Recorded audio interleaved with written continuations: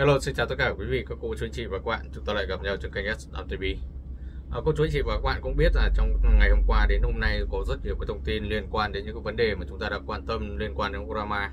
À, ờ, vừa rồi thì cô chú anh chị và các bạn cũng đã thấy rồi những câu chuyện liên quan đến vấn đề của Trương Nguyễn Phương Hằng à, liên quan đến những vấn đề mà chúng ta quan tâm đó là à, Hà Ni tố cáo danh nhân Huỳnh Dũng câu chuyện sẽ đến đâu và các cơ quan chức năng sẽ giải quyết thế nào những cái phát ngôn của chị Hằng cũng như là tiến sĩ luật đảng Anh Quân cũng như là những trợ lý của CEO Nguyễn Phương Hằng. À, hầu như thì mọi người cũng đã thấy rồi. À, những cái à, động thái và những cái à, lời nói nó rất là rõ ràng từ phía uh, những người trong cuộc đặc biệt là phía CEO Nguyễn Phương Hằng. Cô chú anh chị và các bạn cũng đã thấy câu trả lời rất rõ liên quan đến những khoản tiền đền bù.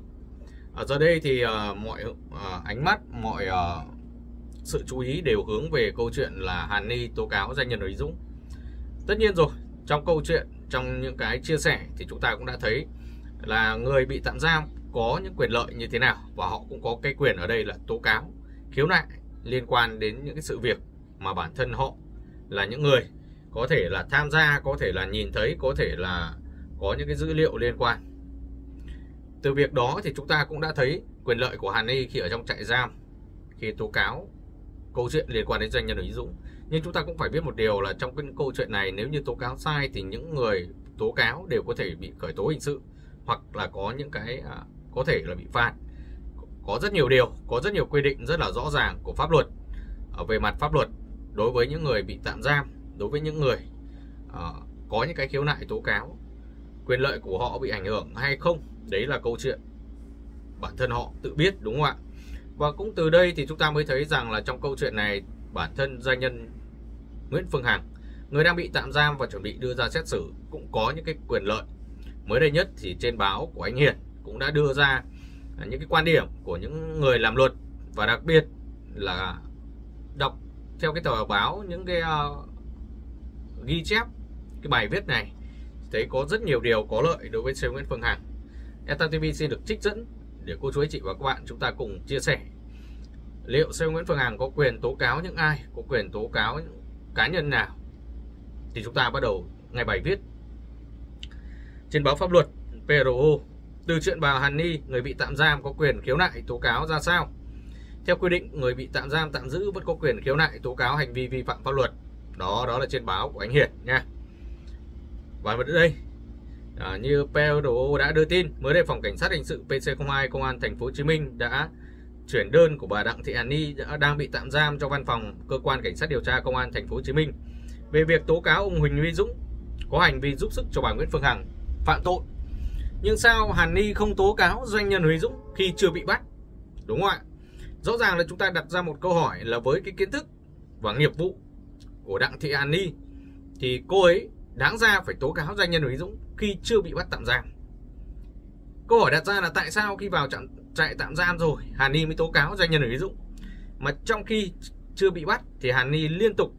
à, nói và có cái hàm ý nhắm về doanh nhân ở ví dụ với cái việc là có giúp sức cho Sơ Nguyễn Phương Hằng phạm tội hay không. Và khi bị bắt rồi thì chúng ta mới thấy à, Đinh Lan thì cũng đã từng chia sẻ là Hàn Ni không còn gì để mất cho nên mới tố cáo doanh nhân Huỳnh Dũng đây là một điều rất là rõ ràng không còn gì để mất. Tức là Hàn Ni đã lường trước khi bị bắt, thì bản thân mình đã thân bại danh liệt. Và khả năng để trắng án hay là vô tội là rất khó. Cho nên Hàn Ni mới quyết định tố cáo doanh nhân Lý Dũng. Giống như câu chuyện là khi đã bị ở ngã xuống sông chết chìm thì lại cố lôi theo đối thủ của mình. Nhưng thật sự, đối với doanh nhân Lý Dũng, có lẽ là bản thân chú Dũng không bao giờ coi Hàn Ni là đối thủ. Từ cái quyền lợi của Hàn Ni thì chúng ta mới thấy rằng là bản thân doanh nhân Nguyễn Phương Hằng người đang bị bắt tạm giam chị ấy cũng có quyền tố cáo khiếu nại liên quan đến những vấn đề mà chúng ta theo dõi trong drama liên quan đến rất nhiều thứ. Mà đặc biệt là những cá nhân có những người đã tấn công Sương Nguyễn Phương Hằng cũng khá là lâu rồi. Tấn, à, câu chuyện nói về cá nhân nó là một việc nhưng câu chuyện nói về công ty Đại Nam nói về à, việc làm ăn của công ty Đại Nam giống như cái cách mà Đinh Lan đã từng chia sẻ nó cũng là một cái đáng để cho chúng ta nhìn nhận. Và trên báo pháp luật thì bên báo của anh Hiển có viết như thế này nữa bà Hàn Ni tố cáo qua những lần bà Hằng livestream vu khống xúc phạm mình có sự giúp sức của ông Huỳnh Uy Dũng chủ tịch hội đồng quản trị kiêm tổng giám đốc uh, giám đốc công ty uh, cổ phần văn hóa Đại Nam, chồng bà Nguyễn Phương Hằng. Từ sự việc trên, nhiều bạn đọc đã đặt ra câu hỏi theo quy định hiện nay người bị tạm giam, tạm giữ có quyền tố cáo hay không? Trao đổi với ờ, uh, PRO, luật sư Đỗ Thành Trung, đoàn luật sư thành phố Hồ Chí Minh. Hiện nay, quyền và nghĩa vụ của người bị tạm giam, tạm giữ được quy định tại điều 9 luật thi hành tạm giữ, tạm giam. Theo đó, người bị tạm giam có các quyền như được bảo vệ an toàn tính mạng, thân thể, tài sản, tôn trọng danh dự, nhân phẩm, được thực hiện quyền bầu cử, bỏ phiếu, trưng cầu ở ý dân theo quy định, được gặp nhân thân, người bào chữa, tiếp xúc lãnh sự, ở được khiếu nại tố cáo hành vi vi phạm pháp luật. Và như vậy thì chúng ta cũng có thể thấy rằng là từ cái phân tích của luật sư thì chúng ta có thể nhìn nhận rất là rõ ràng là bản thân Sơn Nguyễn Phương Hằng hoàn toàn có quyền tố cáo. Đúng không ạ? Có quyền tố cáo những cá nhân, ví dụ như là Đinh Lan, người cũng đã có những cái đấu tố với trương Nguyễn Phương Hằng. Phát phong thám tử cao như video trước FM TV cũng đã phân tích. Đây là một điều rất là rõ ràng này cô chú chị và các bạn. Và ở khoản 3 điều 19 của luật này cũng quy định người bị tạm giam chỉ bị hạn chế quyền đi lại, giao dịch, tiếp xúc, thông tin, liên lạc, tuyên truyền, tín ngưỡng tôn giáo, trường hợp cần thiết thực hiện giao dịch dân sự thì phải thông qua người đại diện hợp pháp và được sự đồng ý của cơ quan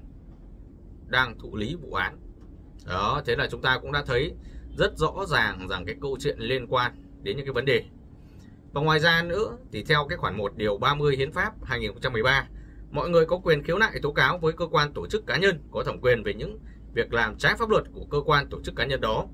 Như vậy, có thể thấy rằng người đang bị tạm giam có quyền khiếu nại, tố cáo hành vi vi phạm pháp luật. Các hành vi vi phạm pháp luật ở đây có thể là hành vi của người tiến hành tố tụng, cơ quan tiến hành tố tụng hoặc của cá nhân tổ chức khác xâm phạm trực tiếp đến quyền lợi và lợi ích hợp pháp của mình.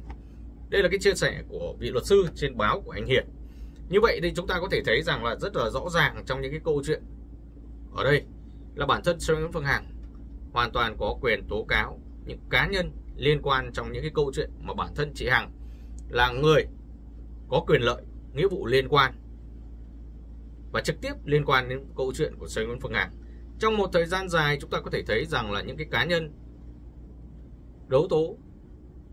với Sơn Nguyễn Phương Hằng họ đã chia sẻ rất nhiều điều về việc làm ăn của công ty Đại Nam và có một cái việc mà chúng ta thấy trong cái thời gian trước còn có những người bố lung bố loa nói ra giảng đạo lý giống như là vợ chồng doanh nhân Huỳnh Dũng là cướp đất của dân, cướp đất của người khác. Đấy là một cái câu chuyện rất là nguy hiểm khi họ chia sẻ ở trên YouTube là một phần. Nhưng sau đó những cái nền tảng Facebook, TikTok họ chia sẻ lại. Những nền tảng khác họ chia sẻ.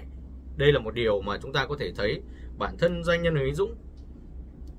đã bị ảnh hưởng. Công ty Đại Nam cũng đã bị ảnh hưởng rất nhiều về những cái sự việc mà những cá nhân này tố cáo. Đúng không ạ? Họ thực trực tiếp là những người đã gây ảnh hưởng đến uy tín, ảnh hưởng đến danh dự của người khác. Đối với Hàn Ni trong câu chuyện này thì chúng ta có thể thấy rằng là Hàn Ni tố cáo doanh nhân Nguyễn Dũng liên quan đến câu chuyện là liên quan đến vấn đề của Sêu Nguyễn Phương Hằng chia sẻ live trên xúc phạm người khác nhưng Hàn Ni không nói thêm về những cái vấn đề là quỹ hàng hữu hay là cái cách làm ăn của công ty Đại Nam là vấn đề bất động sản chúng ta có thể hiểu rằng một trong câu chuyện này Hàn Ni đã đường cùng đã đi vào được cùng khi cô ấy uh, uh, vào trại giam rồi mới mới mới uh, viết đơn tố cáo. Đấy là những cái phân tích đấy là những cái bình luận của cô chú anh chị khán giả. Tam TV có những cái đồng tình với tất cả mọi người về một quan điểm nào đó uh, rất rõ ràng. Thế nhưng đây mới là câu chuyện mà chúng ta quan tâm đó là việc Châu Nguyễn Phương Hằng cũng cần viết đơn hay làm đơn tố cáo những con người này liên quan đến những câu chuyện bản thân chị Hằng bị tấn công. Bản thân bản thân Sêu Nguyễn Phương Hằng là người trực tiếp bị ảnh hưởng. Trong cái giai đoạn đó chúng ta có thể thấy cũng chính vì những cái nguyên nhân này và có, có rất nhiều người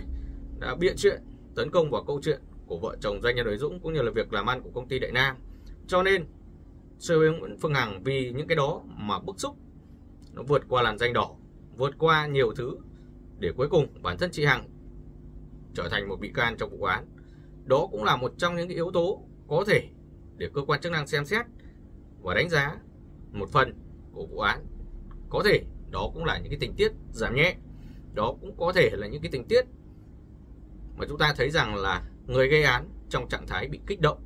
đây là một điều rất là rõ ràng của quý chú anh chị và các bạn còn việc Hani có được hay không, hay là bất kể cá nhân nào thì chúng ta cũng có thể thấy được hay không được thì bản thân họ sẽ là người biết rõ hơn ai cả. Họ hiểu về luật họ biết rõ những điều đó. Hy vọng là Sơn Nguyễn Phương Hằng sẽ dùng cái quyền lợi của mình để uh, làm những lá đơn cho những người nào đó mà cơ quan chức năng xét thấy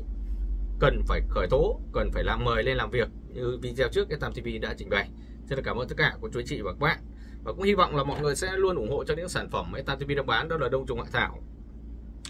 mật ong ngâm đông trùng hạ thảo rượu đông trùng hạ thảo. Đây là những sản phẩm rất là chất lượng đối với tất cả cô chú anh chị và các bạn. À, nó luôn à, có trong những cái sản phẩm phục hồi chức năng đặc biệt là đối với những người bị à, đau lưng nhức mỏi yếu sinh lý hen suyễn tiểu đường tim mạch. Khi chúng ta dùng đông trùng hạ thảo này để uống hàng ngày cho vào thức ăn nó tùy vào ở, ở mỗi một loại bệnh tùy vào người sử dụng mà chúng ta có thể áp dụng. À, xin được cảm ơn tất cả cô chú anh chị và các bạn. Chúc cho mọi người à, có một dịp nghỉ lễ vui vẻ. Và thân TV sẽ cùng với cô chú anh chị và các bạn chúng ta sẽ đến Đại Nam à, du lịch vào cái dịp nghỉ lễ 30 tháng 4 này. À, rất hân hạnh khi mà à, được gặp mọi người ở đó. Xin được cảm ơn tất cả mọi người. Chúng ta sẽ gặp nhau những video tiếp theo.